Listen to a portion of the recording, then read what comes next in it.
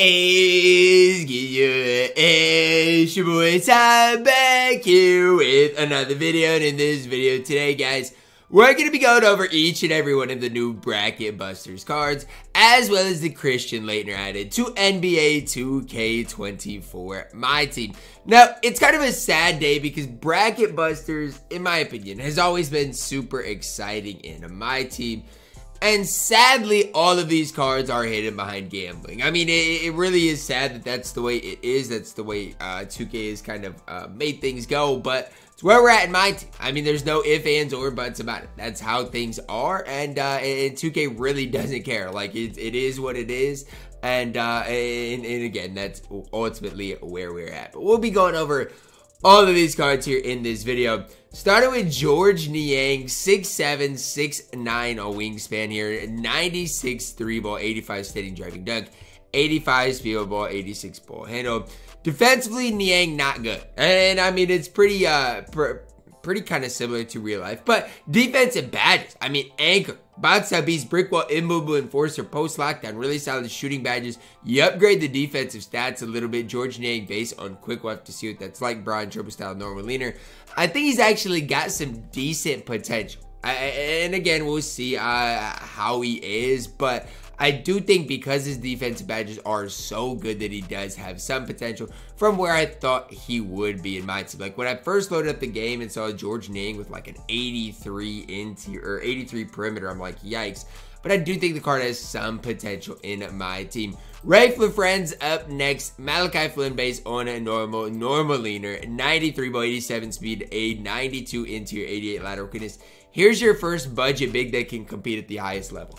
I mean, we've seen bigs before, but we have not seen a big like Raef LaFrentz that's going to be able to get you paint stops. It's going to be able to shoot the rock. It's going to be able to do it all at the highest level. Raef LaFrentz is going to be absolutely elite in my team. So there is like a deluxe pack that you can grind for today. Hope you got hope you get Raef LaFrentz because I'm telling you, if you get him out, of that Pink Diamond Deluxe pack, you are definitely going to enjoy the card. It's just the facts of the situation.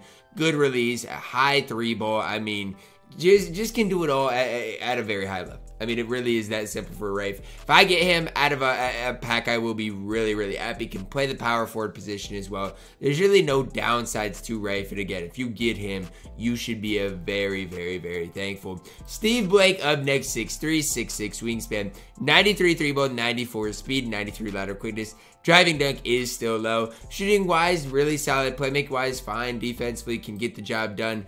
Vando based on normal timing for a six-three point guard in nearly April. I, I, I don't know how else to phrase it. He is horrible. I'm sorry, Steve Blake, you are not getting the job done for me. It's that simple, that easy. If you're playing Jarred Vanderbilt, uh, or if you're playing Steve Blake with the Jarred Vanderbilt base at this stage, he, you're doing something wrong. Joakim Noah up next. I mean, DBG already tweeted it. I know his release got a little hurt. He had uh, his his last base, I think, was the default small base. I don't really remember it. Obviously, couldn't really shoot anyways. Now he's got the Al Horford base with the default big upper. I mean, that's going to be a, a, a, pretty bad release. I'm just being honest with you. Not great. He is 84,000 MT, which isn't super expensive for a great defense player. I just wish his release was a little bit better. Because if it was, he you could run a front, front court of really Joakim Noah and Raef LaFrentz and have a ton of success. Like both those cards are obviously really good. I do wish his release was just slightly better, but Joakim Noah can still get the job done. Kirk Hinrich up next, 6'4", 6'6", wingspan, 95 3 ball, 95 speed, 97 lateral, good interior perimeter.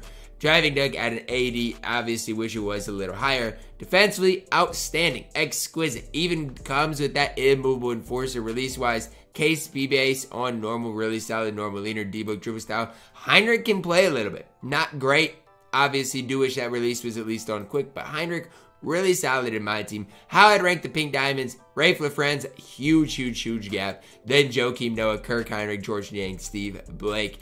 Then our free card, you do have to play uh, co-op for Christian Laettner. I think it's 50 co-op wins. 96 three ball, 85 steady dunk driving dunk, 86 field ball bueno, 88 speed, good interior perimeter, good rebounder not a lot bad I can say about him, honestly. I mean, that's it's just the truth. Half anchor, brick wall, rebound, does have a ton of shooting badges.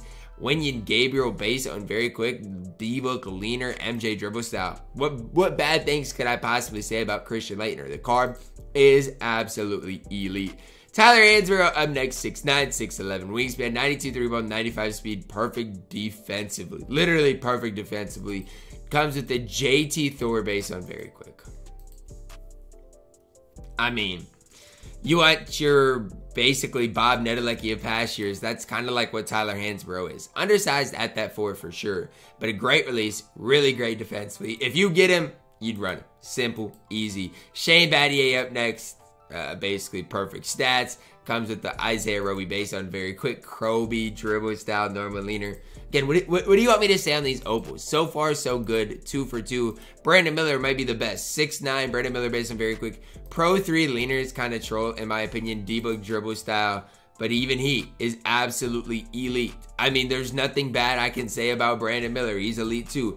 Danny Ferry, what release did they give him? The TP base on very quick. Steph dribble style, Nate Robinson leaner. I mean, Danny Ferry, absolutely elite. It's sad. These cards are all behind gambling because they're so good. Like, if I could actually buy these cards for a set price, 2K would have me. I'd buy them.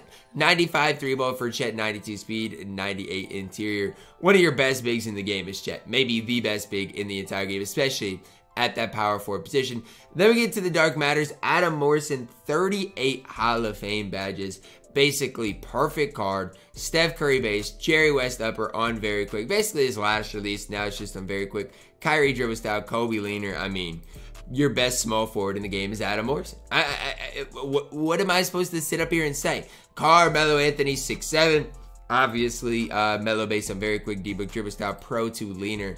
He's so complete too. Like all these cards are so good. I don't know how I'm supposed to like Yes, they're behind gambling, which does think like none of these cards are even attainable. But this drop is so much better than the drops we've been seeing. Like Galaxy Opal wise and above, there's no bad card. I mean, there's really not. Shane Battier, Brandon Miller are probably the worst two, but there's really no bad cards. Magic Johnson, 50 Hall of Famers. Magic Johnson based on very quick. Kyrie Dribble Pro 2 leaner. I mean, the Magic Johnson based on very quick is pretty troll. Like, that's not very good. His release still is going to be on that slower side of things, but he has the Pro 2 leaner. So, I mean, this is another drop for all money spent type of players. I mean, it's it's really that simple. Out of your deluxe pack, obviously, if you get a Galaxy Opal, you're in good shape. If you do get a pink diamond out of your deluxe pack, you gotta hope, and this is this is just optimistic thinking. If you get a pink diamond, you gotta hope it's Raef LaFrentz. Because Raef is the only pink diamond that I see that can play at this top level. But even with Raef, guys, his release is still on that normal time. Now it's still good, but you gotta realize 2K has made Galaxy Opals so much better than pink diamonds that it's gotten to be kind of ridiculous at this stage. And again, I'm not trying to, I'm not trying to, you know, I'm not trying to hype up the Galaxy Opals in the Dark Matters because am I going to rip packs today? No. But it's just one of those things you got to at least realize what 2K is doing and don't just be like, oh, well, Ty, uh, I'm just going to rip packs because no, see what 2K is doing.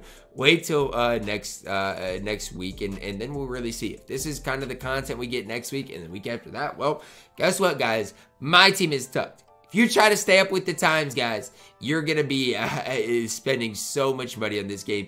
Because again, there's no way, it's not like, oh, if you lock in all the Galaxy Opals, you for sure can get Adam Morrison or Carmelo Anthony. Like, what I would like personally, and this is just me, you lock in the pink diamonds, uh, you, you, you, get uh, an option pack at a Galaxy Opal.